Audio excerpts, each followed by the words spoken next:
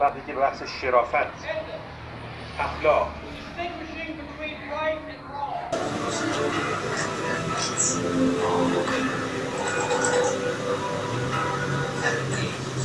دیگه خوابات آزاد از مسیر های شورشی شهرهای شورشی و ارتش آزادی به مقصد آزادی برسد.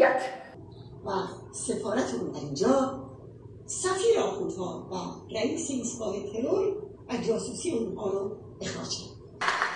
از اول میگو نبرد با این خوشکاندن سرچشمه جنگ و آشوب. و عین صلحخواهی حاضر حاضر حاضر.